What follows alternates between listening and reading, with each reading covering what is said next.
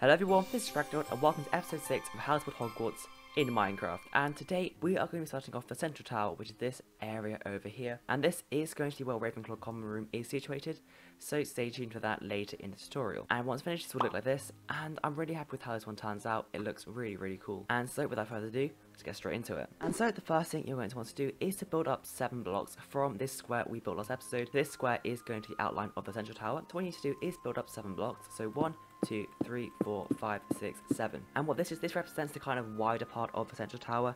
This is where it kind of gets wide, and then it kind of goes in like kind of one block, and then it goes up, and then it gets kind of fatter at the top.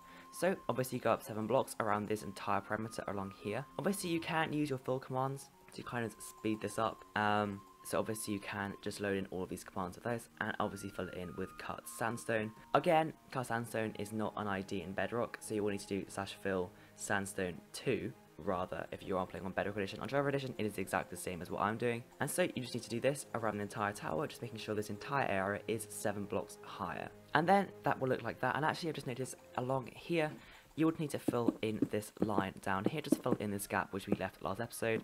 So just bring this down until you come in contact with the roof below. And then when you do, just break these blocks down here, just make it flush just like so.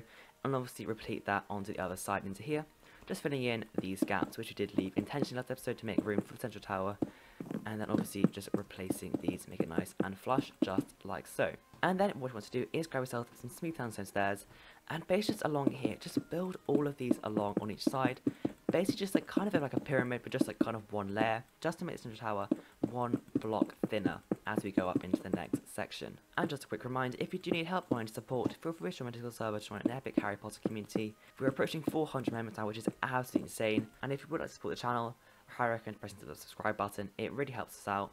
And now that we've built this kind of stair area, we can now build up the main body of the central tower. And so what we first can do is just build a ring of cut sandstone just around here, just as a base where we can build upon for the rest of the central tower. And I might as well mention this really early in the video. Yes, I will be doing a tutorial of main interior locations. I will not be doing a tutorial of the entirety of the Hogwarts since that would take years, I must be honest. And so that is not just, it's just not possible for me to do. However, on my main Java map, which I'll be making in the last series, that will have a fully explorable interior. And then once you have done that ring, you need to build up 14 blocks. And this is the main body of the central tower. And an interesting side fact is this area does get kind of shorter as you go later in the films. In the earlier films, it is much taller, while however in the Half-Blood Prince and Deathly Hallows it does get shorter.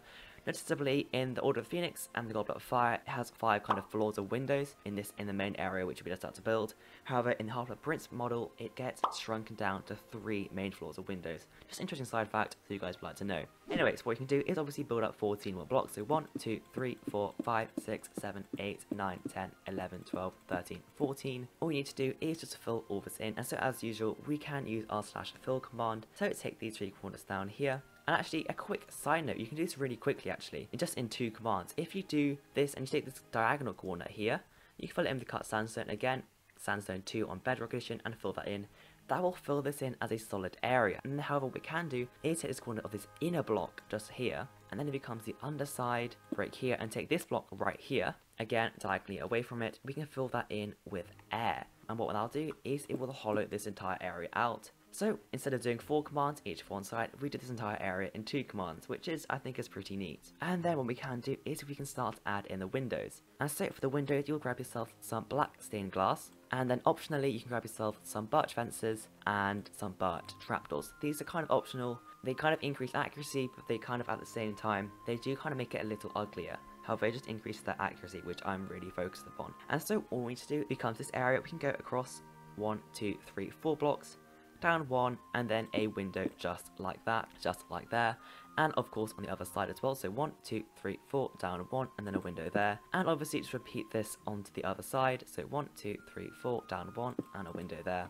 And then onto this side as well. And then you may as well do it on this side as well.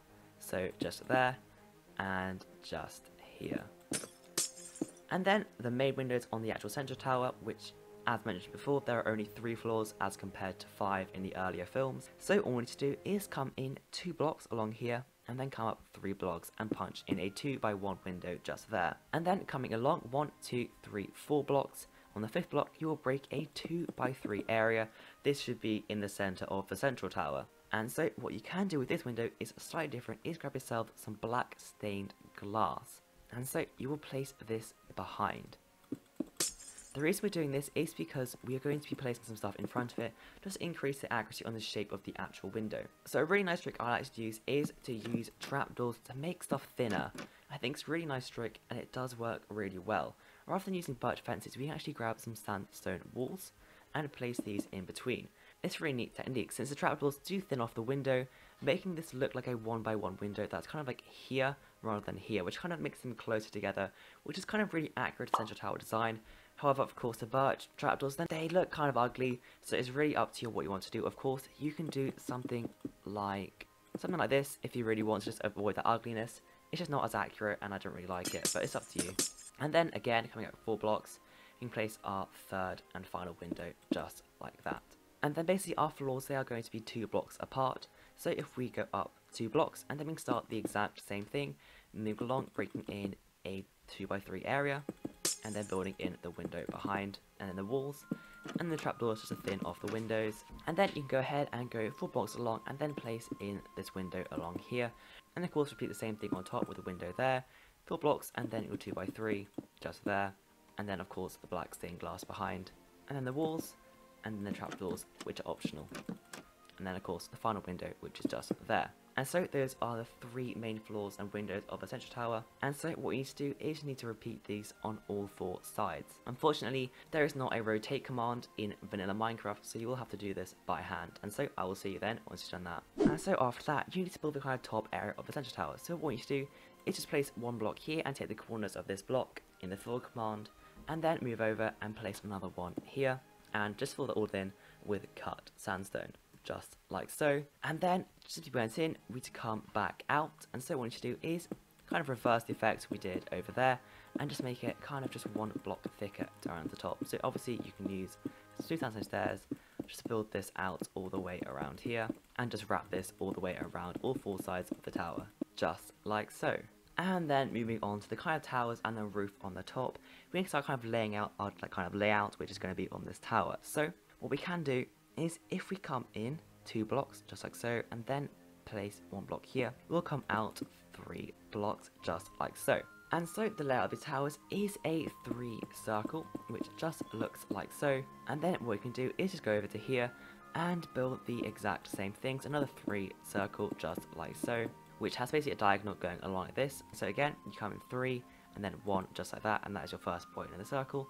And then you build out two and just create a circle with side lengths of three on each side just like so. And of course again onto the final side just like that. And then what we can do is just build a line just to add in the actual place where the tower is going to actually start. And that is the main layout of a central tower.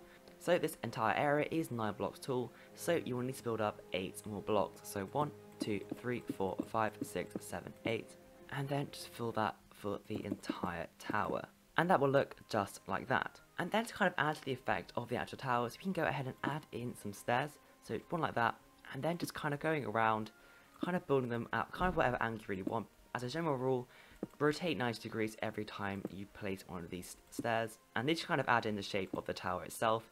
And so just go ahead and build those around. It doesn't really matter what orientation they are, but just something kind of like that. And then we can get started on the kind of main window. And I'm going to take this as where the kind of Ravenclaw common room is actually situated. And so what you can do is grab your smooth sandstone stairs and just build three in the center just like that. And that will kind of take you to actual main window.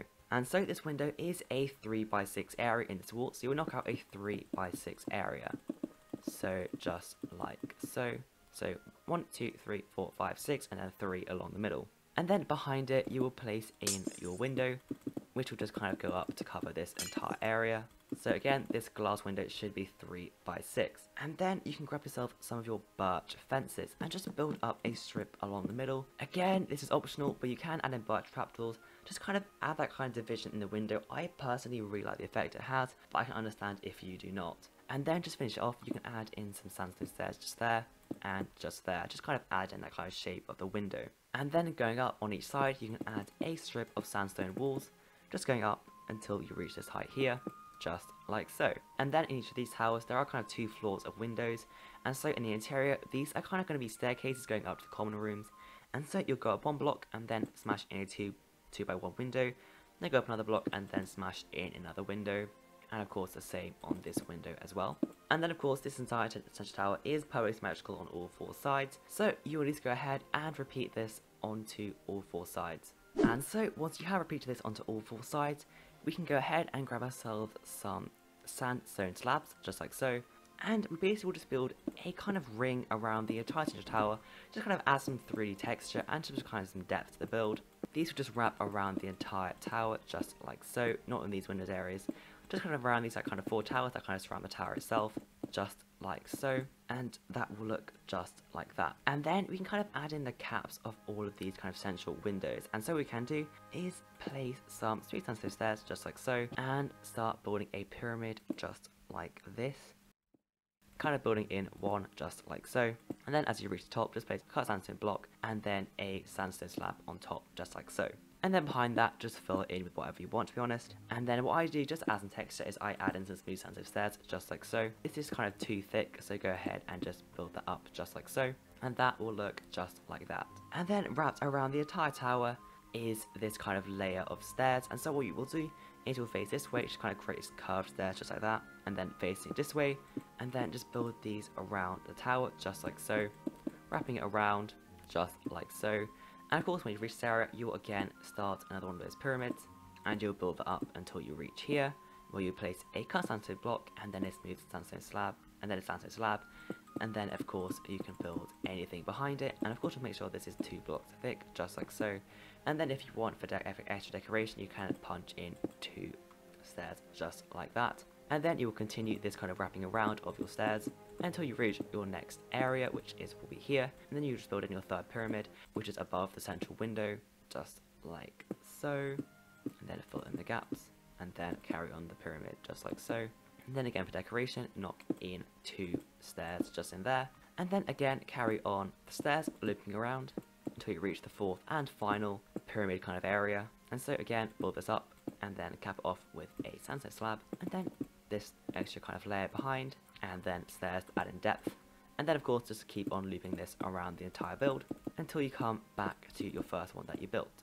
Just like so. And that will look just like that. And so in this tutorial we will kind of build on the roofs of these four towers and then in the next episode we will work on this main roof. It is quite large and quite complicated. And so the first thing you're going to want to do is to grab yourselves some of your roof blocks. So we'll grab ourselves some dark oak planks. I can never find them. Where are they? They are there. Some dark oak planks. And then an anvil if you want, and then a dark oak fence, and then a stone brick wall. And so the first thing you will do is just build up two blocks on all of these sides of the tower, just like so, just like that. And so obviously these just be a circle just on top of all these stairs.